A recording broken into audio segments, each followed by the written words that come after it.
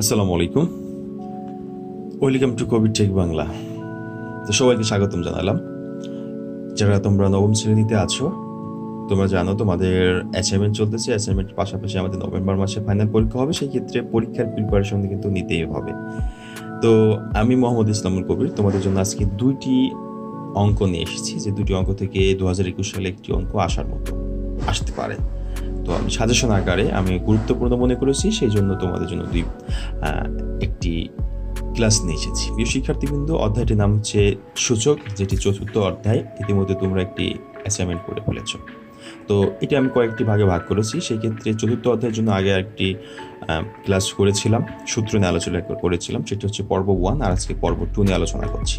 আজকে দুটি অঙ্ক দেখাবো, তার ভিতরে অঙ্ক নাম্বার সাত, সরল করো। এই অঙ্কটা এই দু হাজার একুশ সালে পরীক্ষার জন্য ভেরি ভেরি ইম্পর্টেন্ট সেজন্য এটি দেখাবো। তো এখানে আমি সূত্রগুলো লিখে রেখেছি, যেগুলো আগেও দেখেছি। এখানে যেটা যেটা সূত্র আমাদের লাগবে, আমি তোমাদেরকে দেখিয়ে দিব হাতে কলমে। তো প্রথমে আমরা দেখি প্রশ্নটি কী দেওয়া আছে, যে টু এর উপরে N plus four minus four into two to the power N plus one divided by two power N plus two ভাগ। তো এই জিনিসটাকেই আমরা কোন সূত্রে করব? দেখো ফার্স্ট এই সূত্র ইউজ করব এক নম্বর সূত্র। এক নম্বর সূত্র আছে, এর উপরে পাওয়ার এম ইন্টু এর উপর পাওয়ার এন সমান এ সমান এম প্লাস ওয়ান তার মানে আমরা দেখেছিলাম যে বেজে বেজে একই রকম থাকলে, নিচে যে কি, এটা বেজ বলে না? এর আগে দেখেছিলাম, এটা হচ্ছে বেজ আর উপর যেটা থাকে সেটাকে বলা হয় সূচক বা পাওয়ার।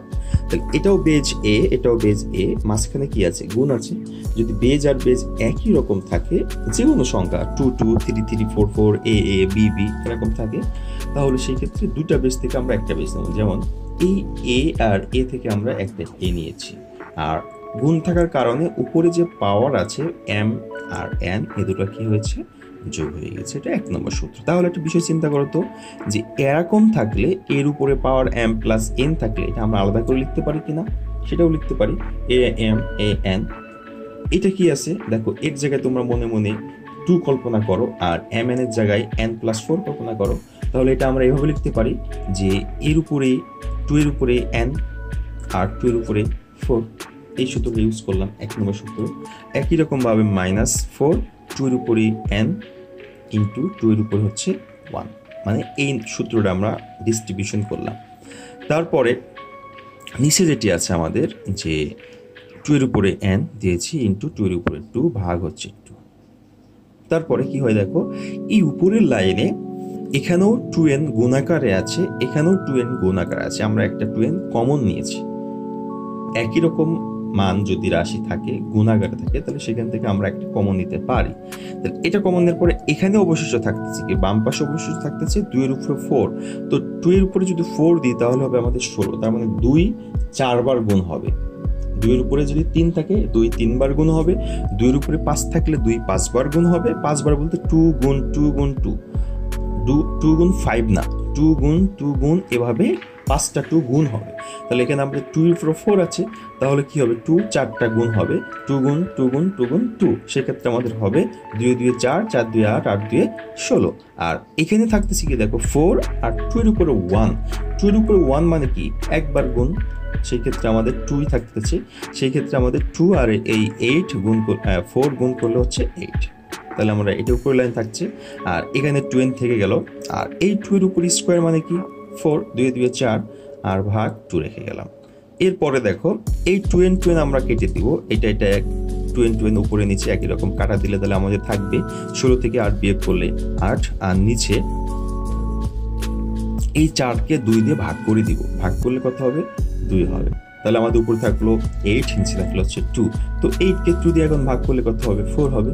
তাহলে এটি হচ্ছে অ্যান্সার একেবারে সহজ কিন্তু অঙ্কটা। কিন্তু ইম্পর্টেন্ট এই পরীক্ষা। তাহলে এই যে প্রশ্নটা আমরা অঙ্কটা সমাধান করলাম, সরল অঙ্কটা, এই সরল অঙ্কটাই কিন্তু মাত্র একটি সূত্র দিয়ে আমাদের হয়ে গেল। সেটা হচ্ছে এক নম্বর সূত্র, যে বেজে বেজে একই রকম থাকলে, গুণ থাকলে পাওয়ার পাওয়ার হবে চলে যাচ্ছি পরবর্তী অঙ্কতে।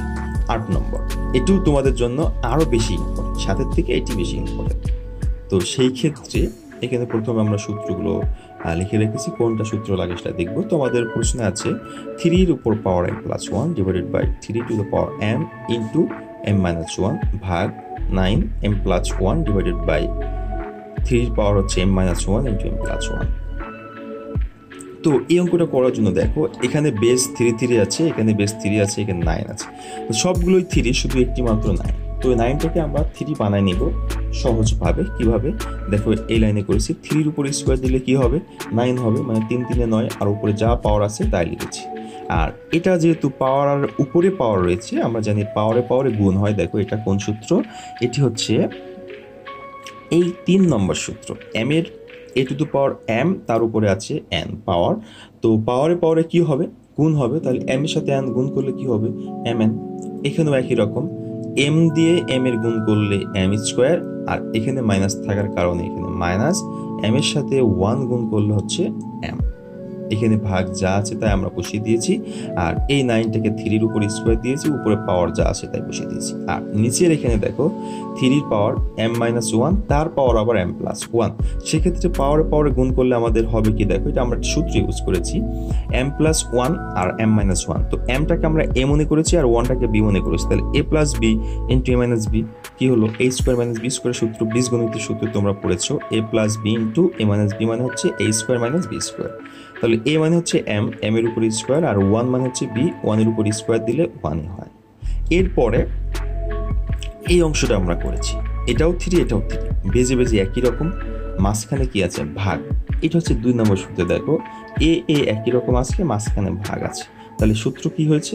দুটা বেস থেকে আমরা একটা বেস নিয়েছি, প্রথম পাওয়ার বসে গেছে আর পরের পাওয়ার এই অ্যানটা বিয়োগ হয়ে গেছে। এটাও আমরা একই রকম করব। এ থ্রি থ্রি থেকে একটা থ্রি নিয়েছি। উপরে পাওয়ার কি ছিল? M plus one M plus one নিয়ে নিয়েছি। আর নিচের পাওয়ারটা বিয়োগ হয়ে গেছে মানে চিহ্ন পরিবর্তন হয়ে যাবে। সেই ক্ষেত্রে এম এর চিহ্ন ছিল প্লাস হয়ে গেছে মাইনাস এম প্লাস হয়ে গেছে মাইনাস ছিল, হয়ে গেছে প্লাস তো এটি হচ্ছে এই দুই নম্বর সূত্র আমরা ইউজ করলাম। ভাগ, এখানে আমরা প্রথমে করেছি এই টু দিয়ে ভাগ গুণ করে দিয়েছি, যেহেতু পাওয়ারের পাওয়ার রয়েছে টু এর সাথে এম গুণ করলে টু এম টু এর সাথে ওয়ান গুণ করলে টু আর নিচে যা আছে তাই। আর এটা আমরা কি করেছি দেখো এম আর এম যোগ করলে কি হয় টু এম প্লাস ওয়ান আর মাইনাস এম স্কোয়ার যা আছে তাই। এখন এখানেও একই রকম করব। থ্রি থ্রি থেকে একটা থ্রি নিব। পাওয়ার পর কি হবে? বিয়োগ হবে, যেহেতু ভাগ আছে এই দুই নম্বর সূত্র অনুসারে, সেক্ষেত্রে টু এম প্লাস টু উপরে বসে যাবে। আর নিচে যেই এম স্কোয়ার মাইনাস আছে, সেটা ওয়ান আছে, সেটা উপরে যে বিয়োগ হয়ে যাবে। বিয়োগ হলে এইটা প্লাস ছিল মাইনাস হয়ে গেছে, আর এটা মাইনাস ছিল প্লাস হয়ে গেছে। এখন আমরা কি করব? এটাও থ্রি এটাও থ্রি দুটো থ্রি থেকে একটা থ্রি কমন নিব। তার আগে এক লাইন বেশি এখানে আমরা করেছি। এখানে টু আর যে ওয়ান আছে যোগ আকারে, সেটা আমরা দুই আর এক যোগ করলে থ্রি হয়, সেটা লিখেছি। এখন দেখো, এই থ্রি আর এই থ্রি থেকে আমরা একটা থ্রি নিয়েছি। তাহলে মাঝখানে কি? ভাগ আছে মানে এই সূত্রটা আমাদের পড়ছে। সেক্ষেত্রে দুটো থ্রি থেকে একটা থ্রি নিলে প্রথম পাওয়ারগুলো আমরা এই জায়গাটায় বসিয়ে দিয়েছি। আর এই থ্রির উপর যে পাওয়ারগুলো সেগুলো কি হবে? মাইনাস হবে। তার মানে সবগুলো চিহ্ন পরিবর্তন হয়ে যাবে। তাহলে এটা প্লাস মাইনাস এই এম মাইনাস স্কোয়ার ছিল এটা প্লাস হয়ে গেছে। আর মাইনাস প্লাস থ্রি ছিল মাইনাস থ্রি গেছে এখন আমরা এই পাওয়ারগুলো দেখব কোনটা কাটাকাটি করে অবশিষ্ট কী থাকে। এখানে যে টু এম আছে, এই টু এমটা দেখো, এই টু এমটা হচ্ছে, কিসে আছে আমাদের? টু এমটা প্লাসে আছে, আর এই টু এমটা মাইনাসে আছে। তো প্লাস আর মাইনাস আমরা একই রকম থাকলে কী করতে পারি? কেটে দিতে পারি, কেটে দিলাম। আর মাইনাস এম স্কোয়ার আর প্লাস এম স্কোয়ার কেটে দিলাম। তাহলে আমাদের অবশিষ্ট থাকতেছে প্লাস ওয়ান মাইনাস থ্রি তাহলে প্লাস ওয়ান আর মাইনাস থ্রি যদি থাকে, তাহলে যোগ বিয়োগ করব। তাহলে বড় আছে কি থ্রি থ্রি থেকে ওয়ান বিয়োগ করে দিব, বিয়োগ করলে টু থাকে। যেই টু অবশিষ্ট থাকে, সেটা মাইনাস থেকে থাকার কারণে আমরা থ্রির উপরে পাওয়ার দিলাম মাইনাস টু মাইনাসের কারণে একটা সূত্র আছে এখানে, এই আট নম্বর সূত্র, দেখো। A to the power minus one A to the power minus one তো A to the power minus one থাকলে আমাদের কি হবে? এই মাইনাসের কারণে ভগ্নাংশ হয়ে যায়। এখানে সূত্র একটু ভুল আছে। মাইনাসের কারণে কি হবে? ভগ্নাংশ হয়ে যাবে। আর তাহলে এর উপরে পাওয়ার কি থাকবে? এন সেটা নিচে হবে। এরকম দেখো যে এই মাইনাস থাকার কারণে উপরে এক চলে আসলো আর থ্রি উপরে পাওয়ার কি থাকে তাহলে? টু থাকে। থ্রি উপরে পাওয়ার টু নিচে চলে আসলো।